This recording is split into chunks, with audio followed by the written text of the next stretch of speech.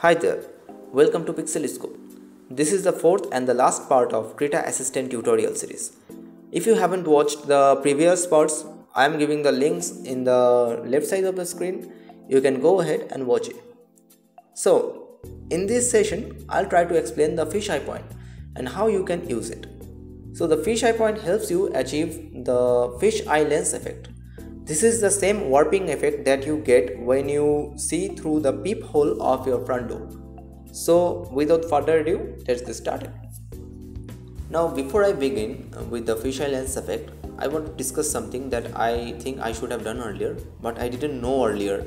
So I told you that in the parallel ruler, you have to if you want to get the uh, your vertical or horizontal line uh, be actual vertical and horizontal you need to get it to the um, edge of this drawing area uh, to get it to snap. But it's not the only way that you can get it. I just found out that after drawing this if you uh, if you change the handle and then press shift then it automatically snaps to vertical or horizontal. And that goes for everything in the spline also if you press shift shift then it automatically snaps to the horizontal or vertical. So that's really handy and that can be applicable for any tool. Also one thing one thing to uh, keep in mind that if you start drawing a tool i mean the assistant tool you don't get out of it without completing it so if you press escape it doesn't get out of it. So if you complete it and then it gets out of it. So this is one thing to keep in mind. So without further ado now let's get started. Let's try to draw a fisheye lens effect. For this effect you need two fisheye point assistant one horizontal and one vertical and a vanishing point in the middle of the system. So i'll start by using the horizontal and I got it uh, an approximate middle. And then I got it here. And I will approximate the middle of this. So there's my horizontal. And just above this I'll start drawing a vertical one. And let's try to match up those. So both are matched up and both are in place. Now all I have to do is add a vanishing point here. And that's it.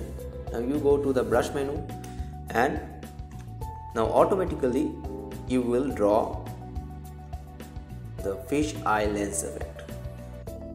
So let's try to draw a corridor as if it's a hotel corridor and you are seeing from uh, from inside the hotel room so here's the lane and notice how easy it is to draw this type of pictures.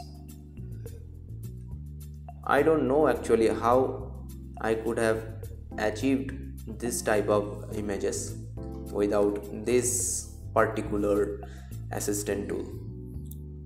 Because all the points all the all the lines have two um, vanishing points.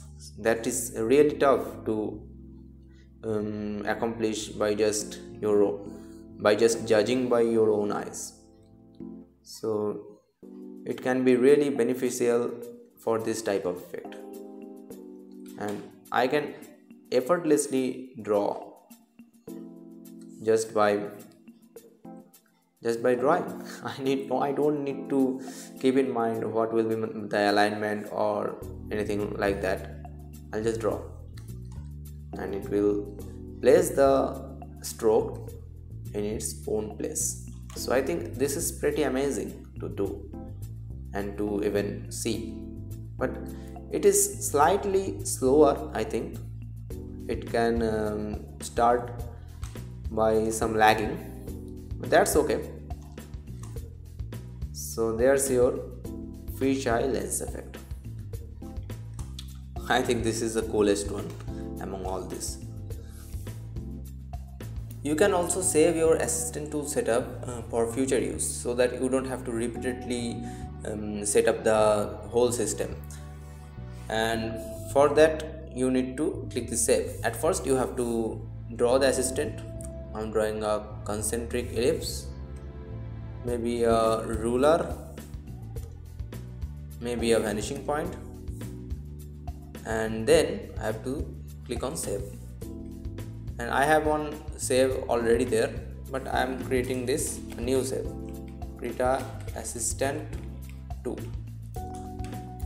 now if I close this and then again open a new document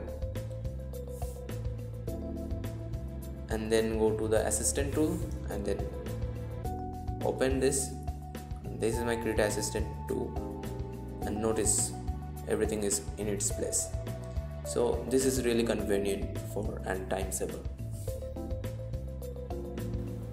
so this was the last part of Krita assistant tool of Krita 101 series. In the next part I'll try to cover another tool so if you found this video helpful please like comment and share it with your friends if you are new to this channel please subscribe and hit the bell icon so that you don't miss any new upload from my channel. So that's it for today guys. I'll see you in the next tutorial.